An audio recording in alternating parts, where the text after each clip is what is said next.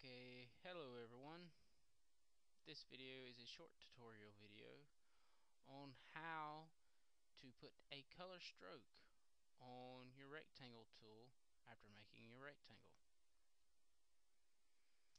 Now, I'm going to zoom in on this so it makes it more legible.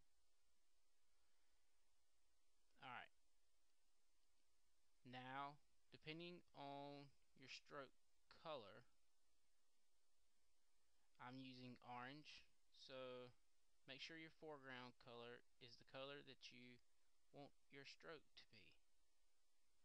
Mine's orange so now I'm going to go to the rectangle select tool. Click and drag depending on the size. That's totally up to you. After doing that right click in the rectangle go down to where it says edit stroke selection then click stroke line. Then you'll see line width. I'm going to choose 8 so you can see a whole lot better.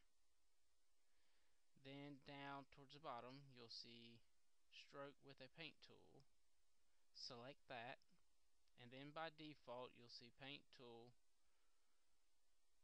By default it's paint brush just leave that at default. And press stroke. That'll give you the orange stroke. So with that there I'm going to make it a few more. Change the color just little bit.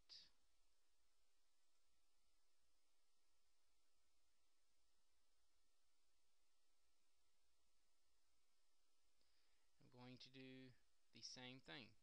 Right click, edit, stroke selection. Everything's the where it was before. Just press stroke. And there you go.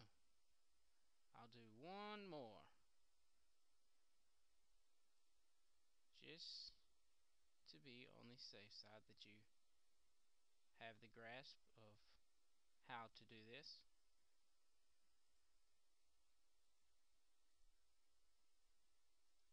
Right click, edit, stroke selection, and then stroke.